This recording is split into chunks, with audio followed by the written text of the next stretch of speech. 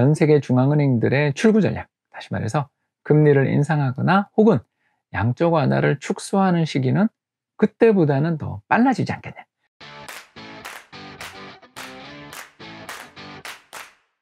안녕하세요. 이코노미스트 홍춘욱입니다. 최근에는 세종사이버대학교 경영학과에 초빙 교수로 일을 하고도 있습니다. 이번 시간에는 2008년 글로벌 금융위기 때에 비해 최근 경기가 왜 이렇게 갑자기 좋아지는지 금융위기 때에 비해서 2020년 코로나 불황의 회복 속도가 왜 이렇게 빠른지에 대한 질문이 들었기에 답을 한번 제시해 보려 합니다.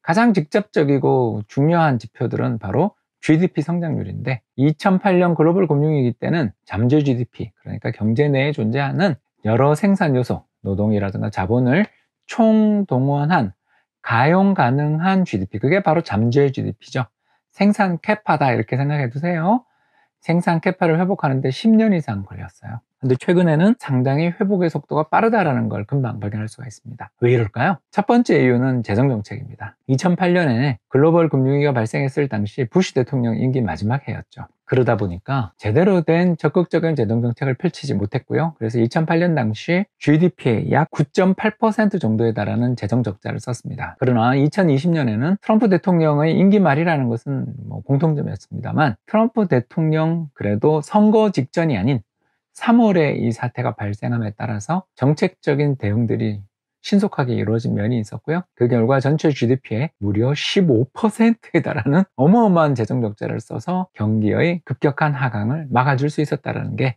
첫 번째 이유가 되겠습니다. 이와 같은 재정 적자뿐만 아니라 통화 정책에서도 큰 차이가 있었습니다. 2008년 글로벌 금융위기 당시에는 미 연준이 양적 완화를 단행하는 규모도 적었고 또 미적거린 면도 있었습니다. 그래서 2008년 당시에 전체적인 양적 완화의 규모, 다시 말해서 중앙은행이 시장에 나가서 채권을 사준 규모가 1.3조 달러. 이것도 큽니다만 최근 2020년 한 해 동안 있었던 양적 완화 규모인 3.2조 달러에 비하면 거의 3분의 1 수준이라는 것을 알 수 있죠. 한마디로 말해서 재정정책도 적극적으로 쓰고 통화정책도 신속하게 집행했다라는 것입니다. 그리고 이제 세 번째 차이가 더 결정적인데 바로 2008년은 금융위기 그리고 2020년은 실물위기라는 것입니다. 이게 뭘 의미하는가? 그림 한번 보시죠. 2008년 당시 부동산 연체율이 11.5%까지 급등했었어요. 그러니 은행들이 버텨낼 수가 없죠.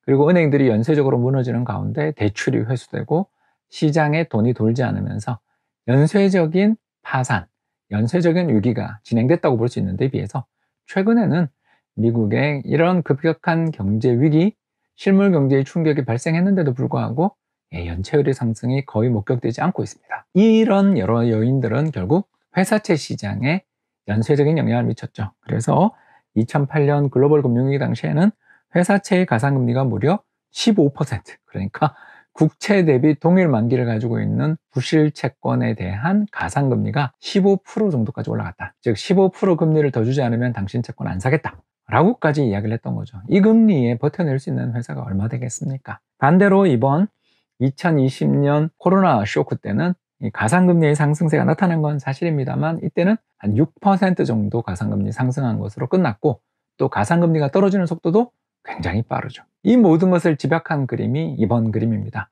빨간 선은 나스닥 종합지수, 파란 선은 미국의 회사채 가상금리. 어떻습니까? 가상금리가 신속하게 떨어지면 주가도 빠르게 오르고요. 반대로 가상금리가 천천히 떨어지고 신용경색, 돈이 안 돌고 은행들도 막 돈을 빌려주고 이런 사태가 벌어질 때는 주식시장의 회복 속도도 느리다라는 것을 금방 확인할 수 있습니다. 결국 이번 코로나 쇼크 때 전 세계 중앙은행들이나 재정정책 당국이 정책을 잘한 면이 있고 또 이 덕에 경기가 빨리 회복됐기 때문에 이전 2008년 때에 비해 전 세계 중앙은행들의 출구 전략, 다시 말해서 금리를 인상하거나 혹은 양적 완화를 축소하는 시기는 그때보다는 더 빨라지지 않겠냐 단축되지 않겠냐 이런 예상을 하는 이유가 바로 이런 부분 즉 적극적인 경제정책 통화 재정정책 시행 덕분에 금융시장이 빨리 안정되고 경제도 빨리 회복될 가능성이 높아졌기 때문이다. 이렇게 정리할 수 있겠습니다. 지금까지 시청해 주셔서 대단히 감사합니다